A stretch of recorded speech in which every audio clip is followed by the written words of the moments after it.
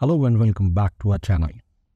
This video will be a part of our text formula series where we will cover new text formulas in Excel.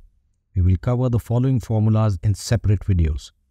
Text after, text before, text join, and text split, and possibly more.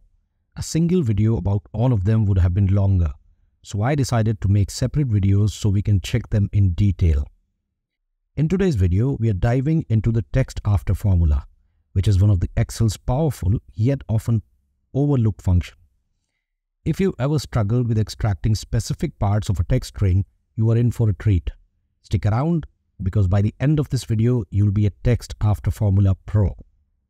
Most of you would know about text to column under the data tab and would think why would Excel release a formula where a feature already exists?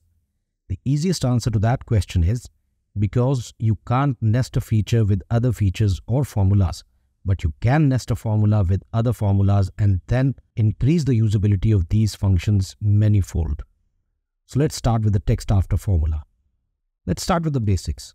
The text after formula is a handy function that allows us to extract text from a given string starting right after a specified delimiter. Think of it as a pair of magic scissors that snips everything away before a certain point in your text. The syntax for text after is text after, text, comma delimiter, comma instance number, comma match mode, comma match end, comma if not found. Out of all these arguments, text and delimiter are mandatory and rest are all optional. Let's quickly understand what each of them is there for. Text is the text you want to extract from. It can be a cell reference or the text itself. Delimiter is a character or substring after which you can extract the data. Instance number is the instance of the delimiter after which to extract text. When a negative number is used, Excel starts from the end of your text. Match mode defines the delimiter's case sensitivity. When it's not mentioned, Excel takes it as 0 which means case sensitive and is the default setting. If it's mentioned as 1, it's case insensitive. Match end treats the end of the text as delimiter. It is disabled by default. Here 0 is the default and it matches the delimiter exactly as specified in the formula while 1 considers the end of text as delimiter. Now that we've got the syntax out of the way, let's move to some examples to help you understand it better. Let's start with a simple one. Here in this sheet, we have some names listed in our first column. We need to extract the last names from this list. Pretty easy. We start by writing a formula in this cell as text after. Then for our text, we reference it to our cell A2. And by the way, if you're wondering why it's not showing as A2, but this full name thing, that's because we are using the awesome Excel feature tables. And it's not only cell name shown inside the formulas, there's many more benefits of using tables. If you wish to find them, watch our video about 10 reasons why you should use them. I'll leave the link in the description and a card on the top right here. Now moving on to our delimiter.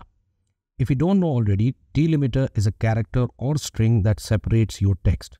In this case, it's a space. So we put a space in double quotes like this.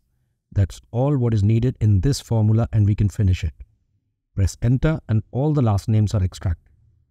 You know, this feature where I wrote this formula once and it was pasted in all the cells that followed? Another awesome feature of the tables.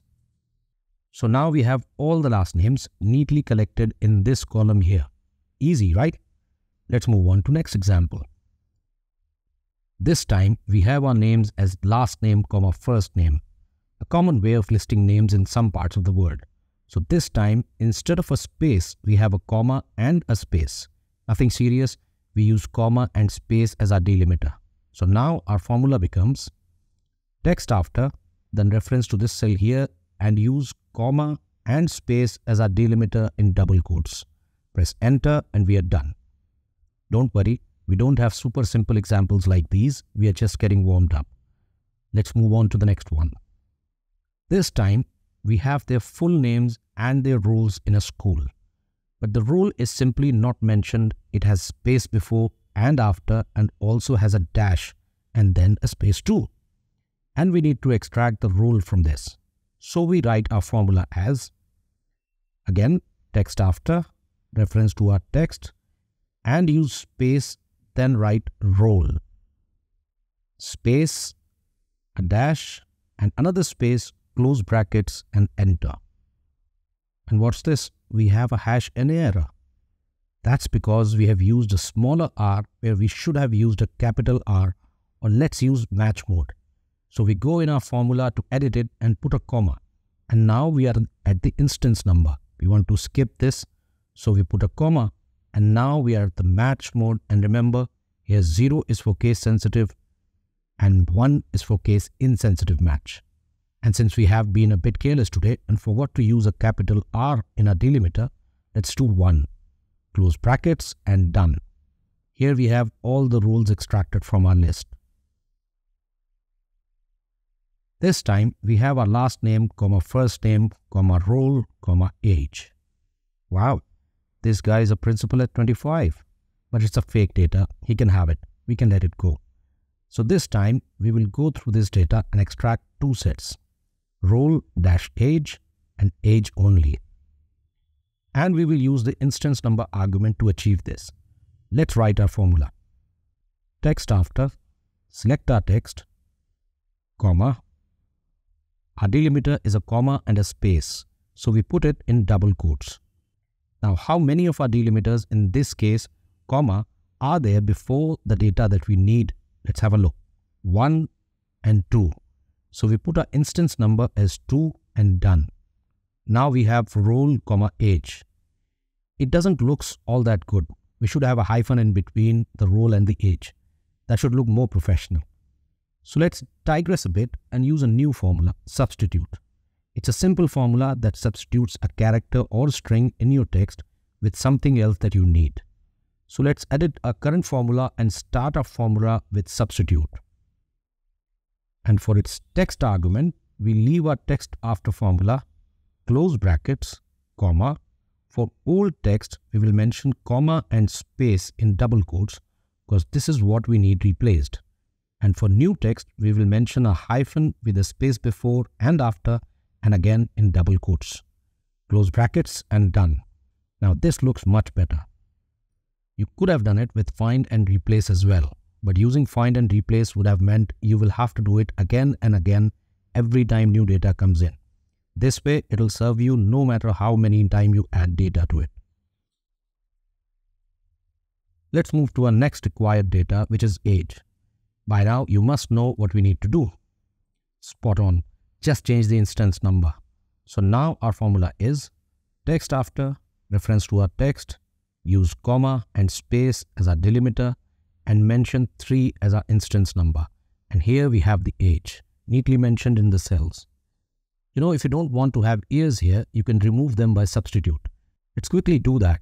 So now we start our formula by substitute and again we use our text after formula as a text here, close brackets, comma. For our old text, we will use space, ears in double quotes and since we don't want anything as our new text, we simply use double quotes and close brackets. Now we have just the numbers. Let's just check that they are numbers and not text because of our formulas. Let's go to the last column and add, let's say 20 to all these numbers. If they are text, Excel will give an error. And here we are. All of them are numbers, so job done. If you wish to extract from the end, you can also use the instance numbers in negative. For instance, in our first task here, to get the age instead of the formula we used, we can also use this formula. Text after reference to our text, use comma in double quotes as our delimiter, and then since we want the values after the last delimiter, we will use minus 1 here. This can be helpful if you have many delimiters and it's easier to get the count right from the end. Life isn't fair, so you may not always get data formatted in a standard way.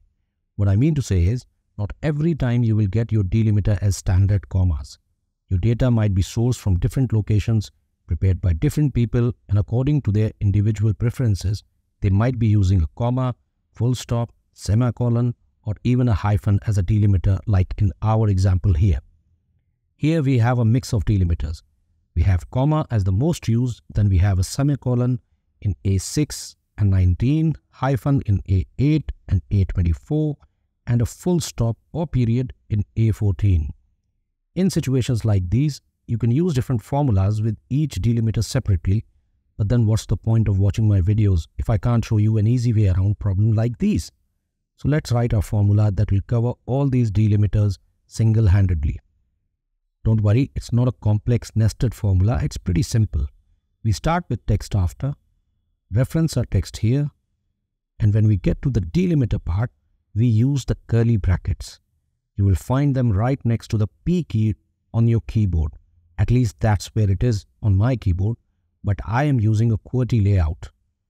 You might be using a different one, so you might have to look for it. Now we use the different delimiters separated by a comma in here just like in our formula in double quotes. Just remember, in our example here, we have space before every delimiter, so we have to add that too. We start by the comma in double quotes, then a comma to separate it.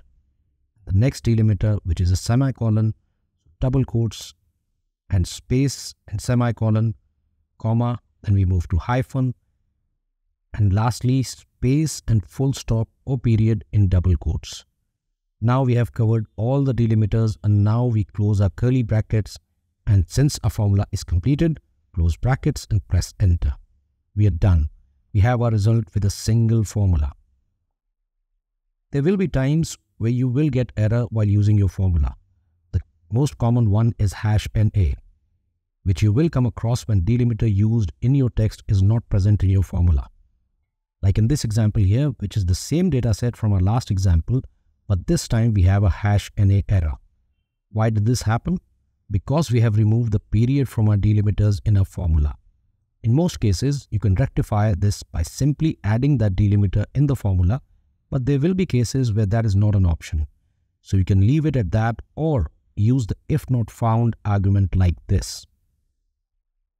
We can skip instance number, match mode, match end, and in an if not found argument, let's write new delimiter, of course in double quotes and close brackets. Now we have the hash NA error out. This is more of a trick than an example. Let's say in our example, where we checked for multiple delimiters, there are so many different ones that we can't really get them all in one go. You can let your formula run and it will return a hash NA error. Like in this cell here, if I change the delimiter to a slash, we will get a hash NA error. You can fix your formula by filtering out all these errors and then adding these delimiters to your formula. But what if no delimiter is used? Let's delete this slash sign and we are still stuck with the hash NA error.